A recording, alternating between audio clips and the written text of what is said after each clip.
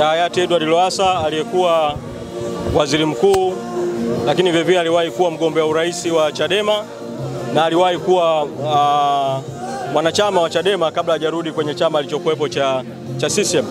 Umesikia kauli mbalimbali za viongozi ambazo zimetolewa.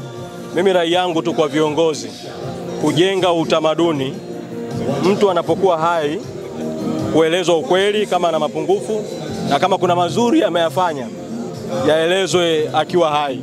Utakumbuka kwamba Lowassa alikatwa ali, ali, ali kwenye kura ya maoni ya, ya chama chake, chama ambacho leo ndo kimejumuika kumpa hii heshima iliyopewa, na Chadema ikawa kimbilio lake, na Chadema ikaja ikampokea, na Chadema ikampa heshima ya kuwa mgombea urais. Kwa kama ni heshima, sisi Chadema tulishatanguliza kumpa tulipompa tiketi ya kugombea kuwa mgombea kupitia, kupitia Chadema. Sasa leo tumekuja uh, kuungana na Watanzania wengine kuomboleza, lakini zaidi kutumia fursa hii kutoa mwito wa mambo ambayo ni vyema yakafanyika kama sehemu ya kumwenzi badala tu ya kuzungumza maneno ya peke, peke yake bila, bila hatua za kumwenzi.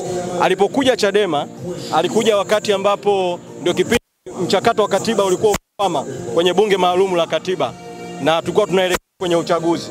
Akakuta tayari tumekwisha andaa rasimu ya ilani ya uchaguzi ya Chadema ambayo kipaumbele namba moja kwenye ilani ya chama ilikuwa kwamba Chadema ikiingia madarakani itaendeleza mchakato wa katiba mpya mpaka ipatikane katiba ya wananchi kwa ajili ya kujenga misingi ya utawala bora, mifumo mpya ya utawala na misingi ya haki na mifumo, na mifumo ya, ya uadilifu. Yeye akaja na hoja kwamba elimu iwe kipaumbele cha kwanza. Tukakaa tukazungumza, tukamweleza kihoja kwa nini katiba mpya ni kipaumbele, na kubali na jambo hilo likabaki kwenye ilani ya mwisho, na ndiyo ambayo akaipeperusha kama bendera wakati anagombea. Kwa kama sehemu ya kumwenzi, serikali iharakishe mchakato wa kupata katiba mpya kwa nchi yetu ili kutimiza yale ambayo alipokuwa kwenye umoja wa katiba ya wananchi Ukawa kupitia Chadema aliyakubali na aliona kwamba ni mambo ya msingi katika taifa letu. Lakini pili, wakati anakuja kwenye ilani hiyo hiyo ya uchaguzi tulikuwa tumeingiza kama kipaumbele vile vile kwamba uh, Chadema ikiingia madarakani itatengeneza mfumo wa uchumi shirikishi na uchumi imara wenye kuondoa umaskini, kuongeza ajira na kuwanufaisha watu wa kipato, wa kipato cha chini kupitia njia mbalimbali ambazo tulizieleza kwenye ilani.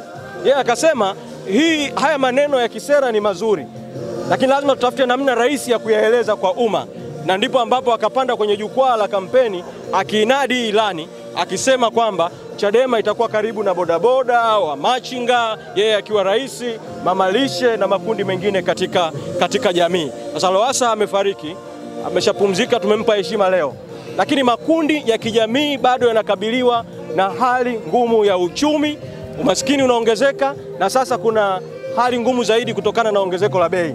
Namna ya serikali kumwenzi ni kupeleka kwenye baraza la mawaziri na bungeni kwa haraka mpango maalumu na mahususi wa kupunguza bei za bidhaa na kupunguza ugumu wa maisha kwa wananchi. Jambo la tatu ni kwamba wakati wa mchakato wa uchaguzi tumeshapiga kura, tumefanya kampeni, watu wameunga mkono ile mabadiliko Lowassa, Lowassa mabadiliko ya mafuriko ya mabadiliko yalionekana bayana, lakini matokeo ya kura yakaonyesha kuna hujuma za kiuchaguzi tulikuwa na njia, na njia moja tu, kwa sababu katiba ya nchi imekataza kupinga matokeo ya urais mahakamani, hairuhusiwi. Njia pekee ilikuwa ni kuingia barabarani kudai haki kwa nguvu ya umma. Lowassa akatueleza kwamba amepata taarifa kutoka vyombo vya ulinzi na usalama kwamba watu wakiingia barabarani, vyombo vya ulinzi na usalama vimejiandaa kumwaga damu.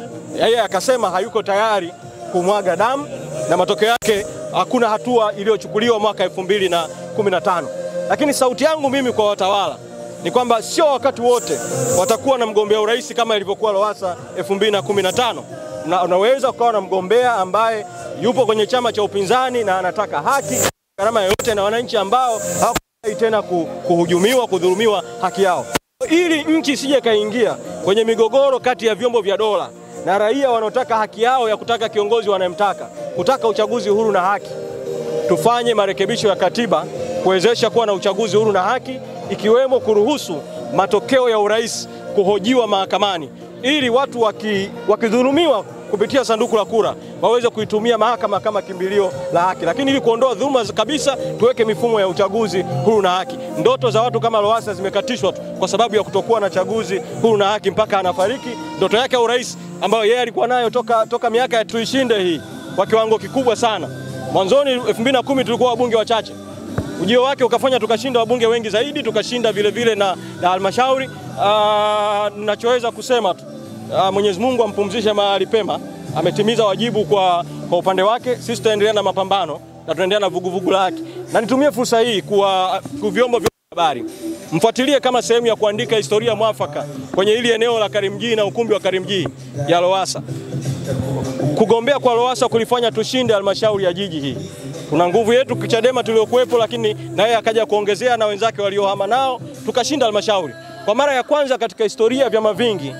Meya wa upinzani akashinda akawa meya katika jengo hili, lakini nimeambiwa kwamba watawala hawa wasiotaka kuandika historia ya ukweli wameondoa picha ya meya wa Ukawa, meya wa Chadema kwenye historia ya mameya ambao wamekuwa kwenye halmashauri. Picha ile irudishwe na Watanzania tujenge historia, tujenge utamaduni wa kusema ukweli na kuandika historia ya ukweli.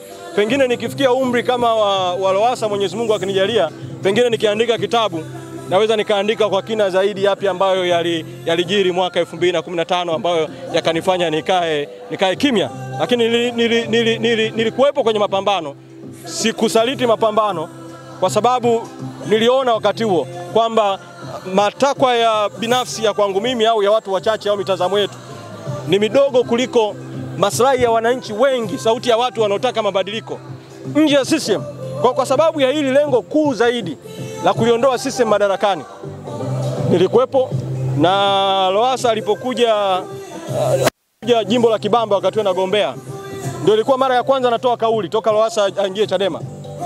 Nilipanda jukwaani wakati ule Dr. Slaa alikuwa ametoa kauli somewhere huko mtaani, akasema Lowassa ametoka, ametoka, ametoka Chadema imechukua choo imekileta sebuleni. Slaa alisema hivyo.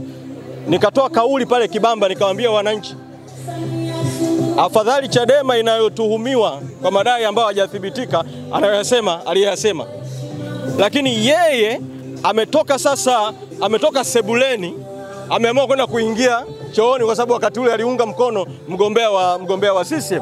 Kwa ile kauli nilitoa na nilitoa kuwaambia Watanzania hata kama tumetofautiana kimitazamo kuhusu ujio wa Lowassa, as long as tayari ni mgombea urais wa Chadema, Watanzania wote wanaunga mabadiliko, tumuunge mkono na tumchague kwa pamoja, tukafanya mabadiliko ya kutawala nje ya CCM kama Mwalimu Nyerere alivyosema, mabadiliko yasipopatikana ndani ya CCM yatapatikana nje ya CCM. Kwa hiyo safari ya kutafuta mabadiliko nje ya CCM iendelee, na nitumie fursa hii tutoa mwito kwa wananchi kujitokeza Mwanza tarehe 15 uwanja wa Nyamagana, uwanja, uwanja wa Furahisha kwenye, kwenye, kwenye maandamano na hatimaye vuguvugu la haki. Tukimaliza vuguvugu la haki Mwanza na maandamano, uongozi wa kitaifa, mwenyekiti wa chama na viongozi wengine watakwenda kushiriki maziko Monduli, na mwenyekiti wa chama ambaye leo hamkumuona hapa atakuwepo kesho kwenye, kwenye kanisa la Azania Front kwenye kutoa heshima ya mwisho. Kwa tuko pamoja na tutaendelea kuwa pamoja kwenye mapambano haya mpaka kieleweke. Asante sana. Katibu wa